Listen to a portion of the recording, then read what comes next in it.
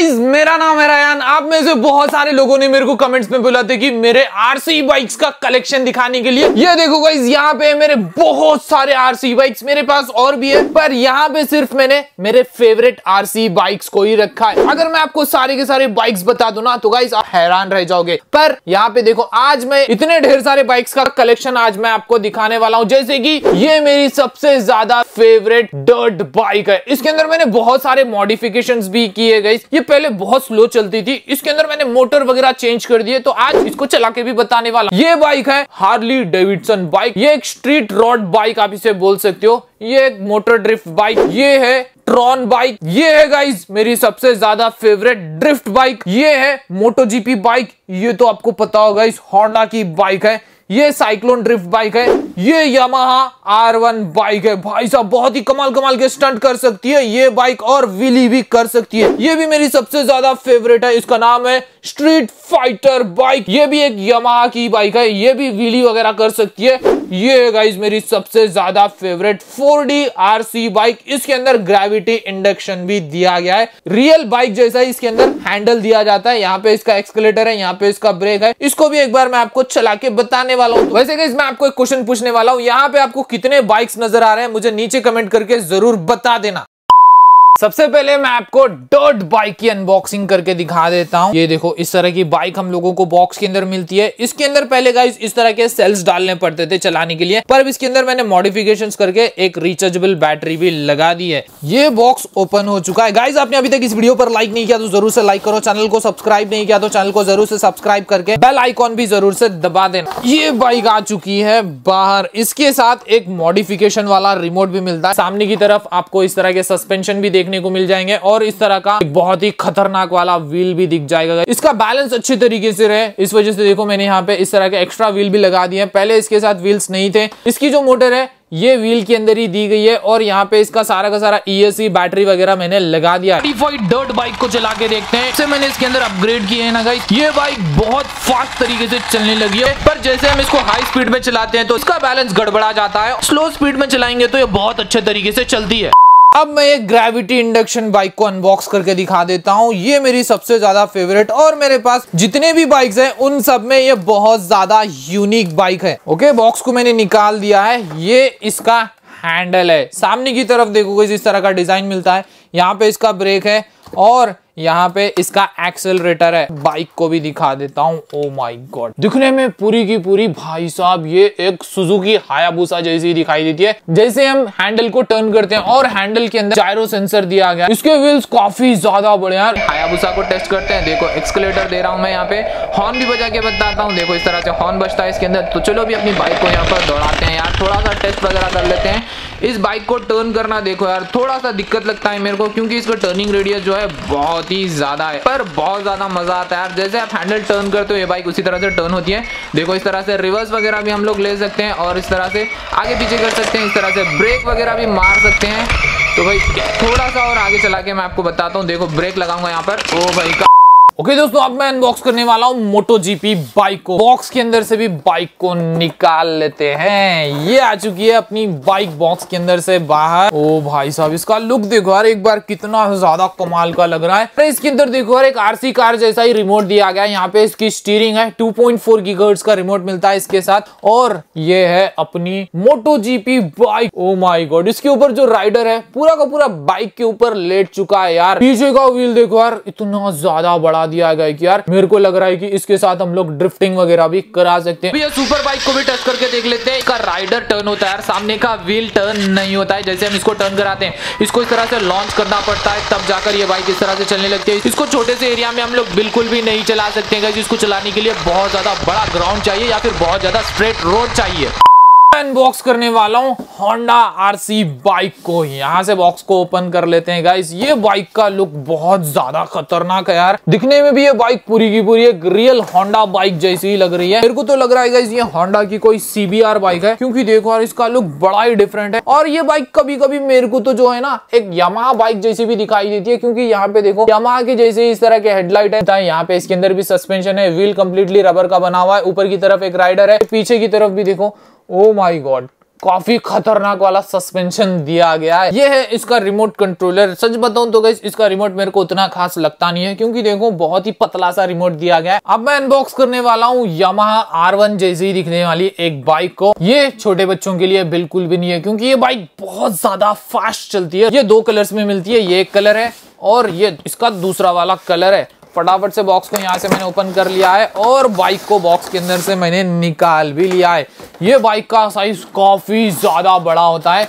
इसको मैंने eight thousand rupees में खरीदा था दोस्तों। ये इसका रिमोट कंट्रोलर है। रिमोट को रखता हूँ मैं साइड में। बहुत सारी चीज़ें ये बाइक के साथ मिलती है। इसका साइज़ देखो यार। कितना ज़्यादा बड़ा है। मेरे पास इससे ज़्यादा बड़ी बाइक दूसरी कोई भी नहीं है। अब इसके रिमोट के बारे में मैं आपको दिखा देता हूँ। रिमोट के अंदर बहुत सारे फ़ंक्शन है। करके देखते हैं। इसकी स्पीड इतनी ज़्यादा होगी, मैंने बिल्कुल भी नहीं सोचा था। और ये बाइक खड़े खड़े टर्न भी हो जाती है और इसको चलाना बहुत ज़्यादा ईजी है। क्योंकि इसके अंदर जायरो सेंसर दिया गया इस वजह से जब आप इसको व्हीली कराते हो तो यार ये बहुत आराम से व्हीली कर लेती है और बिल्कुल भी नीचे नहीं गिरती है गाइस ओ माई गॉड मज़ा आ गया यार ये बाइक को चला के।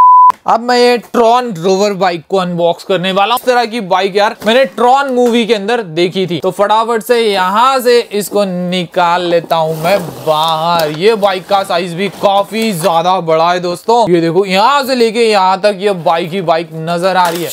तो इसको यहाँ पे इस तरीके से मैं रख देता हूँ। चलो फटाफट से यहाँ से निकाल लेते हैं बाइक को ओ माय गॉड कितनी ज़्यादा मोटी सी बाइक है यार। इसके व्हील्स देखो भाई इतने बड़े व्हील्स तो मैंने आज तक कोई भी बाइक के अंदर नहीं देखे यार। इसका ऑन ऑफ़ का स्विच है, जैसे ही हम इसको ऑन करते हैं, इसकी आवाज़ तो सुनो गाइस ऐसा लगता है कि यार बुलेट बाइक की आवाज़ इसके अंदर डाल दी गई है। इतनी ज़्यादा भयंकर आवाज़ करती है ये वाली बाइक चलो इसको नीचे रखकर चला के भी दिखा देता हूँ मैं आपको। यहाँ से आपको टर्न करा के दिखाता हूँ। देखो गाइस ये इस तरह से टर्न हो जाती है। यहाँ पर ब्रेक लगाने की मैंने कोशिश की, इसके ब्रेक्स यार प्रॉपर तरीके से लगते नहीं है। आगे पीछे बहुत ही परफेक्ट तरीके से ये बाइक चल जाती है। रिमोट इसका बहुत ही ज़्यादा अमेजिंग है। देखो ये इस तरह से टर्न करने लगती है। पूरा 360 डिग्री तक पीछे का व्हील जो है, इसका घूमने लगता है। ये बाइक के अंदर हम जैसे ही टर्न का बटन छोड़ते हैं, ये अपने आप ही सीधा भी हो जाती है।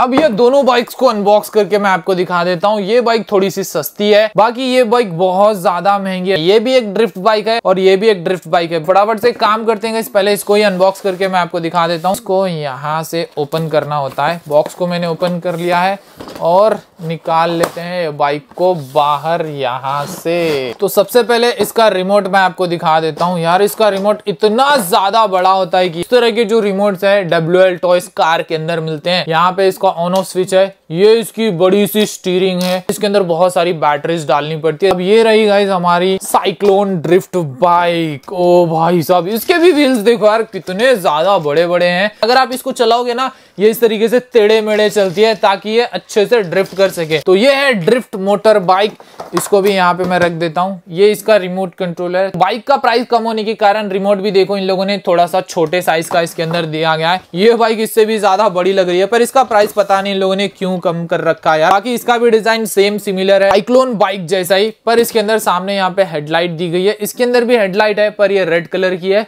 ये थोड़ी सी ट्रांसपेरेंट है। इसके भी व्हील्स आप देख सकते हो बड़ा सा व्हील है और व्हील के अंदर इस तरीके से छोटे छोटे व्हील्स दिए गए पर इसकी व्हील की क्वालिटी बहुत ज़्यादा बढ़िया मेरे को लग रही है, क्योंकि एक महँगी बाइक है। चलाते हैं अपनी साइक्लोन ड्रिफ्ट बाइक को। इसको चलाना यार थोड़ा सा मुश्किल होता है, क्योंकि इसके अंदर 40 इंडिविजुअल व्हील्स लगे हुए ये भी 360 डिग्री मस्त तरीके से घूम सकती है। ड्रिफ्ट बाइक को टेस्ट करके देखते हैं। ये बाइक बिल्कुल भी स्ट्रेट फॉरवर्ड नहीं चलती है। ये थोड़ा सा टेढ़ा होके चलती है ताकि ये ड्रिफ्ट वगैरह बहुत अच्छे तरीके से कर सके। इसको चलाने में बहुत ज़्यादा मज़ा आता है दोस्तों। तो अब मेरी सबसे ज़्यादा फेवरेट मोटरसाइकिल की मैं अनबॉक्सिंग करने वाला हूँ। गाइस इसका भी नाम यामाहा आर वन बाइक है। इसका डिज़ाइन बहुत ज़्यादा डिफरेंट है दूसरे बाइक्स के मुकाबले में। और ये बाइक भी काफ़ी ज़्यादा बड़े साइज़ की यहाँ से इसको हटा देते हैं।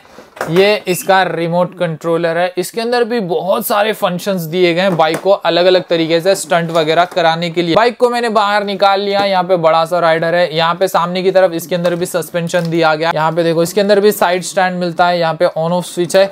यहाँ पे इसके अंदर भी बैटरी लगानी पड़ती है पीछे की टेल लाइट है और ये इसका पीछे का व्हील है। यामाहा आर को टेस्ट करके देखते हैं बहुत अच्छे तरीके से ये बाइक भी चलती है। इसकी भी स्पीड बहुत ज़्यादा दी गई है पर इसकी कंट्रोलिंग देखो यार थोड़ी सी खराब है। छोटे से एरिया में हम लोग इसको बिल्कुल भी टर्न नहीं करा सकते। दोनों के अंदर भी जायरो सेंसर होने के कारण दोनों ही बाइक बहुत कमाल के स्टंट कर सकते हैं और दोनों ही बहुत आराम से व्हीली भी कर सकते हैं बिना गिरे। इसको आप खुद से भी धक्का मारकर गिराने की कोशिश करो ना फिर भी बाइक जो है नीचे नहीं गिरती है। यहाँ पर देख सकते हो रिमोट मैंने रख दिया ये जो बाइक बाइक है खुद को ही बैलेंस कर रही है। सामने के व्हील को मैं इसको इतना घुमा रहा हूँ, फिर भी देखो गाइस बाइक जो है अपने आप ही यहाँ पर सिंगल व्हील पर व्हीली मार रही है। यहाँ पे देखो गाइस मैं इसको इतना घुमा रहा हूँ, फिर भी जो बाइक है अपनी नीचे गिरने का नाम तक नहीं ले रही है। इतनी ज़्यादा अमेजिंग तरीके से खुद को बैलेंस कर सकती है। आने वाला हूँ। दोनों बाइक्स के बीच में रेस देखते हैं दोस्तों, दोनों में से कौन है सबसे ज़्यादा फास्टेस्ट सुपर बाइक दोनों को मैं अभी मिनिमम स्पीड पे चला रहा हूँ। अभी एकदम से दोनों के अंदर फुल थॉटल दूँगा। देखते हैं गाइस कौन जीतता है। देखो अपनी जो सुपर बाइक है, सच में सुपर स्पीड भी चल सकती है। कितनी ज़्यादा आगे निकल चुकी है आप यहाँ पर खुद देख सकते हो। मैं खुद इसके पीछे कैमरा लेकर नहीं दौड़ पा रहा हूँ इतनी सुपर फास्ट तरीके से ये चलने लगती है रोड पर। अपनी जो ट्रॉन बाइक है, इसके आसपास तक बिल्कुल भी नहीं आ पा रही है। इतनी फास्ट तरीके से चल रही है। क्लियरली रेस को जीत चुकी चुकी है अपनी आरसी सुपर बाइक। दोनों के बीच में कराते हैं रेस देखते हैं दोनों में से कौन सी बाइक है। सबसे ज़्यादा फास्ट रेस यहाँ पे स्टार्ट हो चुकी है। पुरानी यामा आर वन बहुत ज़्यादा आगे निकल गई है। नई वाली यामा पूरी कोशिश कर रही है इसको ओवरटेक करने के लिए। जैसे ही मैंने इसके अंदर टॉप गियर लगाया है भाई, ये बहुत आराम से यामा आर वन को ओवरटेक करके बहुत ज़्यादा आगे निकल गई है। ओ माई गॉड इसकी स्पीड सच में यार बहुत ज़्यादा दी गई है। मेरे को लग रहा है की इसकी top speed forty kilometre per hour से भी ज़्यादा तक जा सकती है। इतनी ज़्यादा स्पीड में भी ये बहुत स्टेबल तरीके से चल सकती है। अभी दोनों बाइक्स के बीच में कराएँगे 360 डिग्री टेस्ट देखते हैं दोनों में से कौन सबसे ज़्यादा फास्ट तरीके से 360 डिग्री घूम सकता है। मेरे को तो यहाँ पे लग रहा है दोनों की स्पीड उतनी है। आपको क्या लगता है गाइज़ मुझे नीचे कमेंट करके बताओ दोनों में से कौन सबसे फास्ट तरीके से 360 डिग्री घूम रहा है यहाँ पर? तो दोस्तों, ये है मेरी सभी की सभी फेवरेट आरसी बाइक्स तो आप मुझे नीचे कमेंट करके बताओ गाइस आपको इतनी ढेर सारी बाइक्स में से कौन सी बाइक सबसे ज़्यादा बढ़िया लग रही